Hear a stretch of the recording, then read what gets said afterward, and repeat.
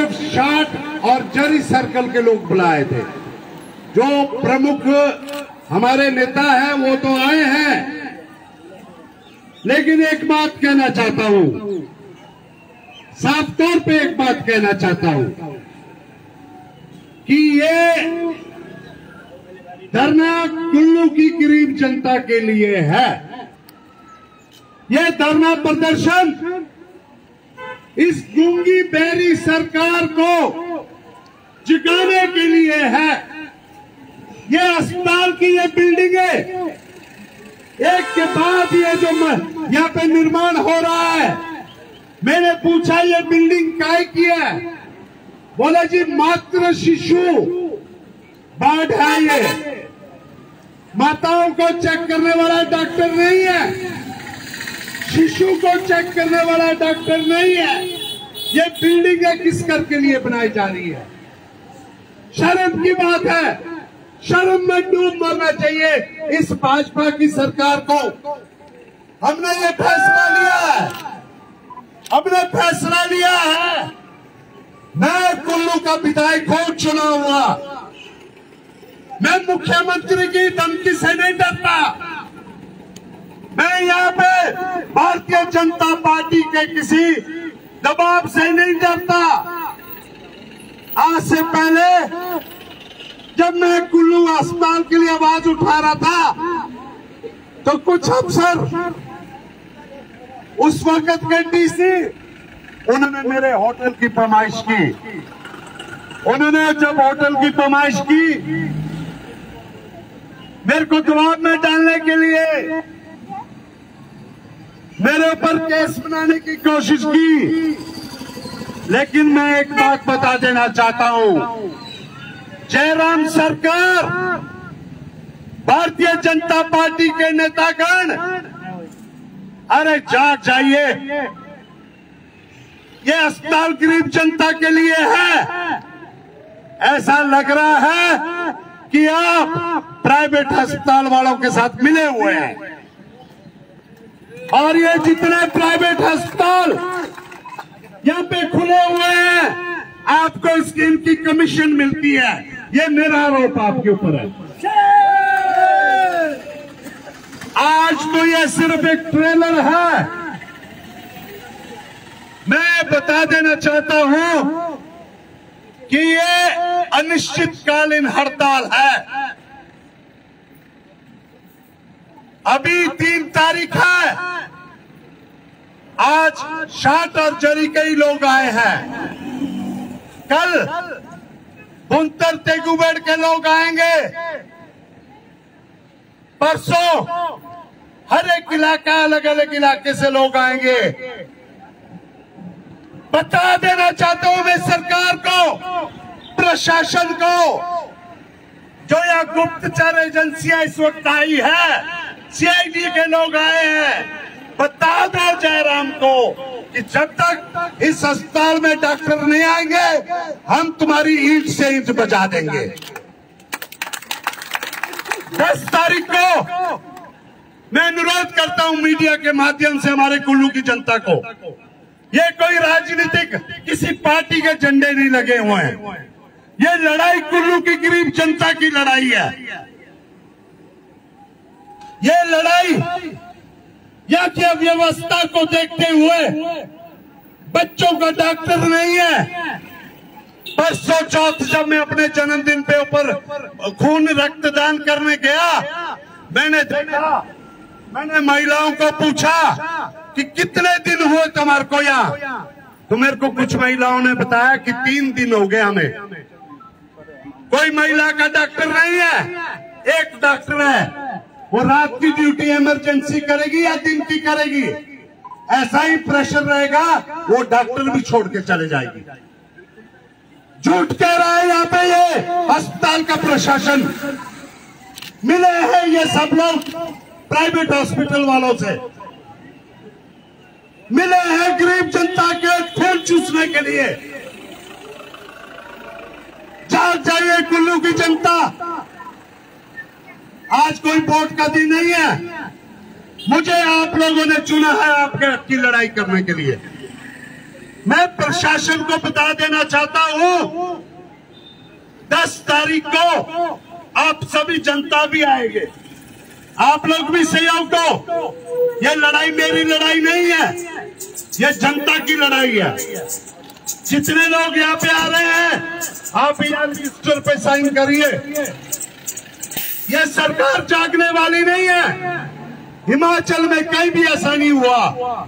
ये पहली बार ऐसा हुआ है कि एक साथ आठ डॉक्टर एक अस्पताल से बदले गए और जब मैंने मुख्यमंत्री को ये बात कही, यहाँ के नेताओं को बात कही तो उन्होंने कहा कि ये विधायक धरना देने वाला है।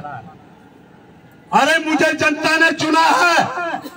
ये रजवाड़े, ये राजे रजवाड़ों को जनता का दर्द क्या मालूम है? ये जो मंत्री संतरी बैठे हुए हैं, उनके कारनामे उजागर हो रहे हैं। उन्हें जनता का दर्द नहीं है। मैंने देखा मंत्री जी शर्म से डूब मरो। उस दिन शर्म से डूब मरना चाहिए था आपको। जिस दिन आपने प्राइवेट अस्पताल का उद्घाटन, वहाँ पे सतारह मील में पंद्रह मील में किया। शर्म से डूब मरना चाहिए था। मैं क्यों? मुझे भी बुलाया गया था अस्पताल के प्राइवेट हॉस्पिटल के वहाँ पे। मैं नहीं गया मैंने कहा हमारे सरकारी अस्पताल ठीक होने चाहिए। मैं चेतावनी देता हूँ इस भाजपा सरकार को। आपने देखा होगा विधानसभा में बार बार मैं बात कहता हूँ। तो कुछ मंत्री हँसते हैं। अरे हंसने, जो ये आपकी हँसी है, ये अहंकार है। आप लोगों को इनकार हो गया है। इस कुल्लू के जनता के दर्द को देखिए। अंदर जो मरीज़ बैठा है, गरीब जनता, जो प्राइवेट अस्पताल में जा रही है। अल्ट्रासाउंड का, जहाँ पे कोई पैसा नहीं लगता था। आज ढाई ढाई हज़ार रुपए लग रहे हैं। सात महीने से अल्ट्रासाउंड का यहाँ पे जो है टेक्नीशियन नहीं है, कितने शर्म की बात है। सात महीने से टेक्नीशियन नहीं है। सात महीने कितने होते हैं? अगर इन नेताओं को, इन रजवाड़ों को, मुख्यमंत्री जी, अगर आपको, आपके परिवार को, कभी बिना डॉक्टर के गैलरी में तीन तीन दिन मैंने पूछा, मुझे बताया तीन तीन दिन से औरतें बैठी हुई थी। और कई कई घंटों बच्चों का डॉक्टर ही नहीं है। और मैं हैरान हुआ, जब अस्पताल से नीचे बाहर गया, कम से कम चार पाँच प्राइवेट अस्पताल बन गए। और उन डॉक्टरों को भी शर्म आनी चाहिए, जिन्होंने ट्रेनिंग तो इस अस्पताल में ली लेकिन नौकरी छोड़ के आज वो लोगों को लूटने का काम प्राइवेट अस्पताल में कर रहे शर्म आनी चाहिए उनको भी। वो मानवता के लिए कोई अच्छा काम नहीं कर रहे हैं। मैं शाबाशी देना चाहता हूँ, कुछ डॉक्टर ऐसे भी थे जिन्होंने नौकरी नहीं छोड़ी, पूरी नौकरी करके। अगर वो प्रैक्टिस करते तो हमें दुख नहीं है। लेकिन शर्म करिए डॉक्टरों आपको सरकार ने ट्रेनिंग दी, आपको डॉक्टर बनाया। जब आप सीख गए तो आप प्राइवेट अपनी दुकान खोल के बैठ गए। ये स्वास्थ्य सेवा है गरीबों के लिए। ये कोई नाले की दुकान नहीं है, जैसी भारतीय जनता पार्टी ने बना रखी है। मैं, ये आज सिर्फ़ ट्रेलर है प्रेस के बंधुओं। ये किसी पार्टी का यहाँ पे एक भी नारा नहीं लग रहा है, ना कांग्रेस पार्टी, ना कोई और पार्टी। मैं चुना हुआ विधायक हूँ, संवैधानिक विधायक हूँ इस क्षेत्र का, और मेरा जिम्मेवारी है कि जब तक इस कुल्लू अस्पताल में बच्चों का डॉक्टर, औरतों औरतों के महिलाओं का डॉक्टर, और सब डॉक्टर यहाँ पे नहीं आ जाते हैं, और आप जानते होंगे यहाँ से ऑपरेशनों की भी लंबी लंबी डेटें दी जाती है। बहुत लंबी लंबी डेटें दी जाती है। आप लोग जानते हैं, ये सब मिली भगत। है ये सरकार मिली हुई है।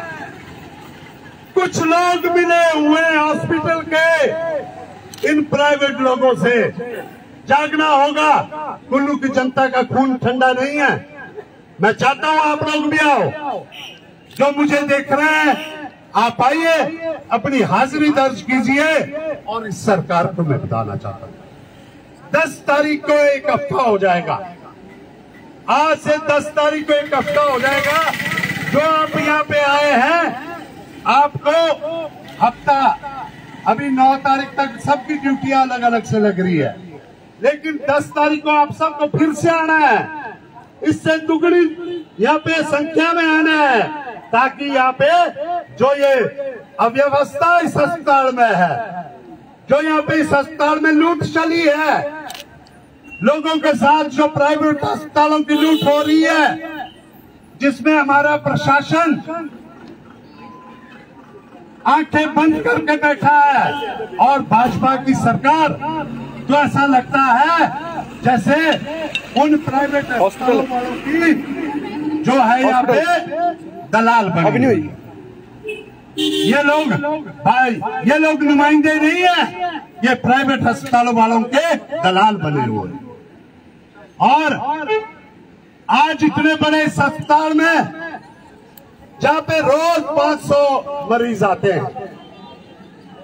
पूरा कुल्लू जिला लाहौल के पूरे लोग पंगी के लोग रंग के लोग और सबसे बड़ी बात तो ये कि मुख्यमंत्री जी, आपके बाड़ी चौकी के लोग भी आते हैं। शर्म नहीं आई आपको? मंडी में आपने कुल्लू के डॉक्टर ले गए, कुल्लू से आठ आठ डॉक्टर ले गए, और उसके बाद भी दो डॉक्टर और ट्रांसफ़र हुए।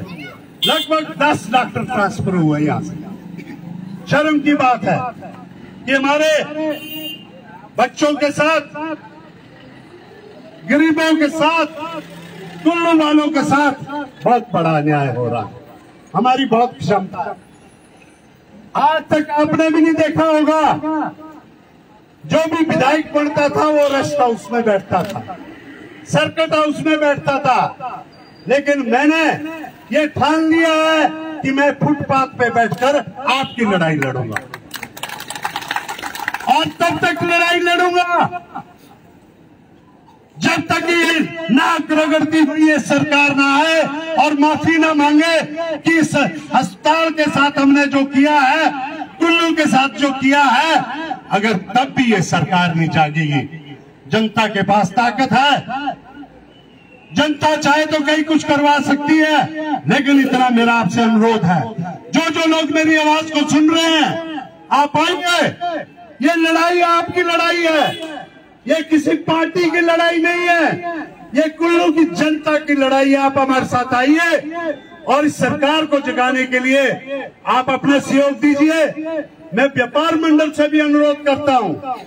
मैं कुल्लू की प्रबुद्ध जनता से अनुरोध करता हूँ। मैं यहाँ पे टैक्सी यूनियन, टेंपो यूनियन, हमारे जितने भी सीनियर सिटीजन, सभी से अनुरोध करता हूँ।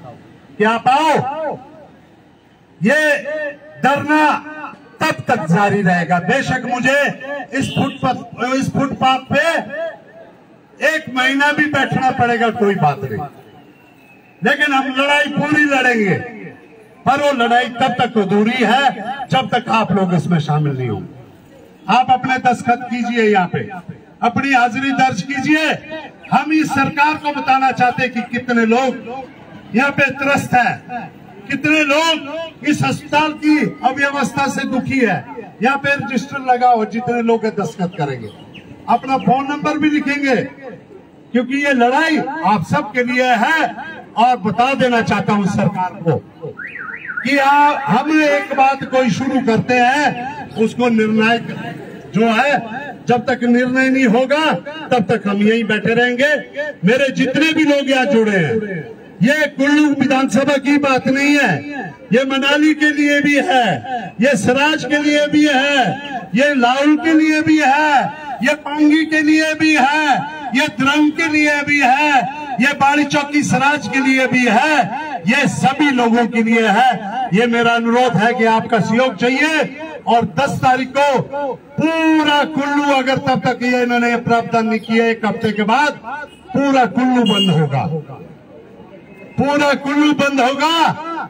और आगे अगर कोई ऐसी बात होती है, गड़बड़ होती है, अगर कोई यहाँ पे अराजकता फैलती है, उसकी जिम्मेवारी सरकार खुद होगी, क्यों जनता चुप बैठने वाली नहीं है। जिम्मेवार सरकार होगी, सरकार को मानना होगा। जहाँ पे मंडी में इतने डॉक्टर है, कांगड़ा में इतने डॉक्टर है कुल्लू में डॉक्टर भेजने होंगे और कुल्लू की जनता को न्याय दिलाना होगा। यही मेरा आपके माध्यम से संदेश था और कृपया करके